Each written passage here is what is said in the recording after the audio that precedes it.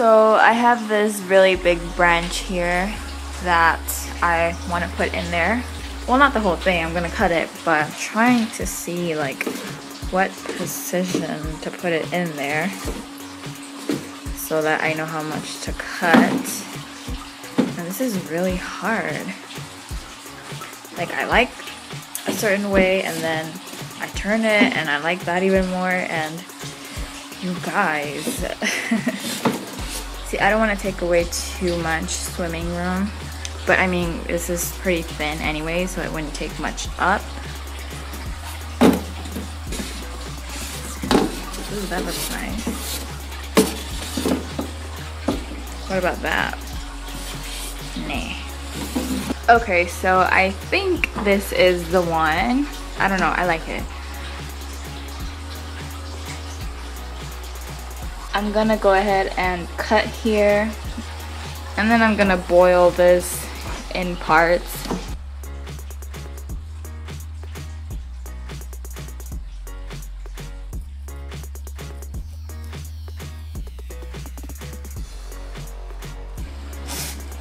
Ta-da! So now I'm going to boil this part. Yikes, that's not gonna be fun. And now I made a mess here. I'm gonna have to clean that up now.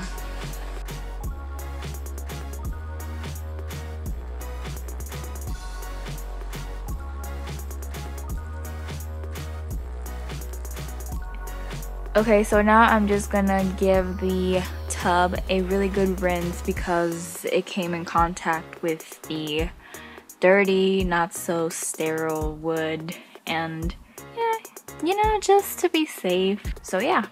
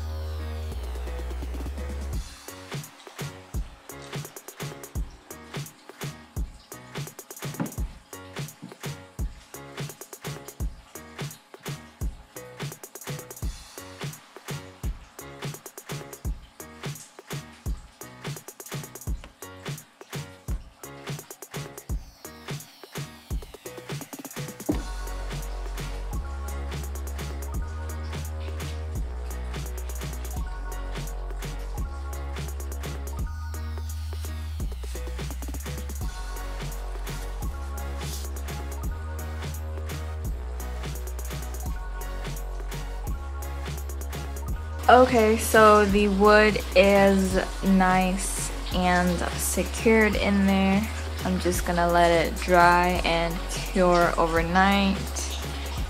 And tomorrow I'll add the finishing touches. And yeah, I don't want to overdo it with this. I want to keep it simple but still nice looking. So yeah, I'm not gonna go too crazy with it. So now I'm just washing some sand.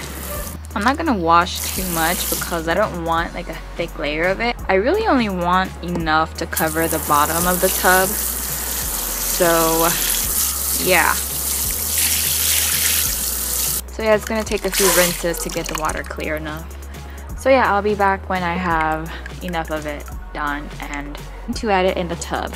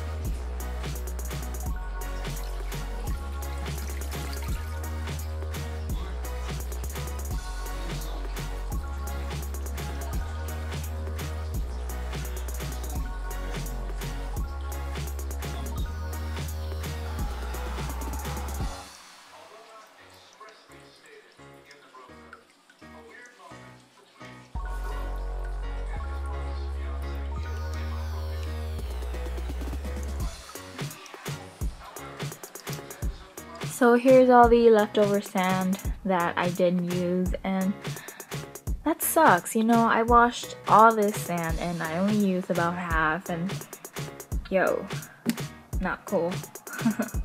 you guys, I'm finally done.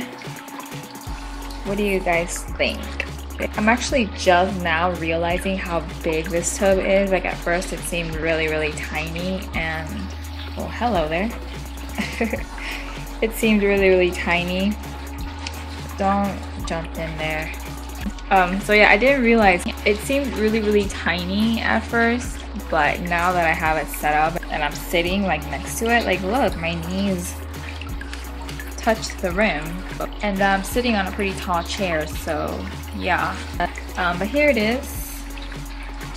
I just finished adding the water and I added the air stone there from the air pump there. And for filtration, I'm using my ghetto filter that used to be in my quarantine tub, but you know, my quarantine tub is no more because the Black Telescope has joined the other three Goldies.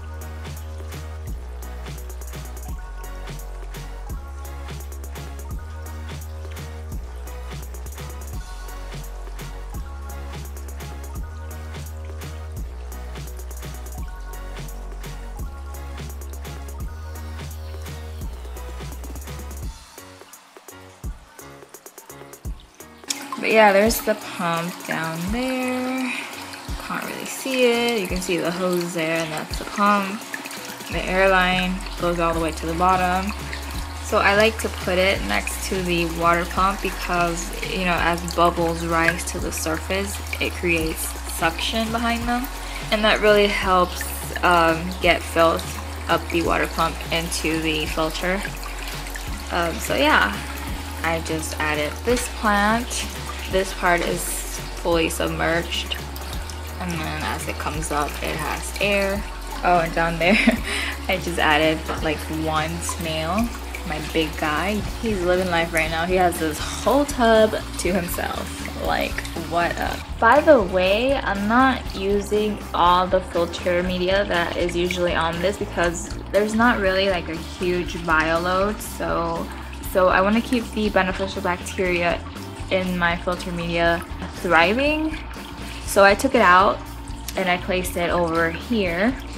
This is what I use for my beneficial bacteria to colonize. Just lava rocks. It's kind of my go-to and it's very affordable um, and it works. So yeah.